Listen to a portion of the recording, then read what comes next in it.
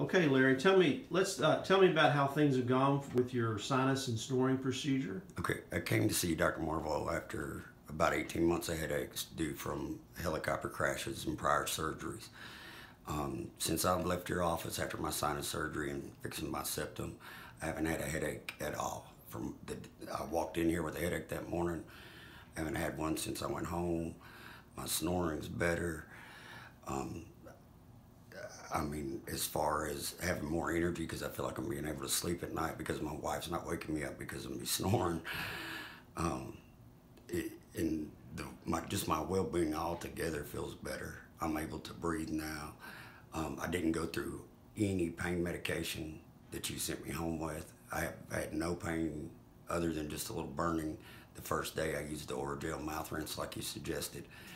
And I mean, I've done, I've raised dogs and I've been out with them. Uh, really no serious downtime, just taking it easy and gentle like you told me. I mean, it is unbelievable the effect that sinuses have on you.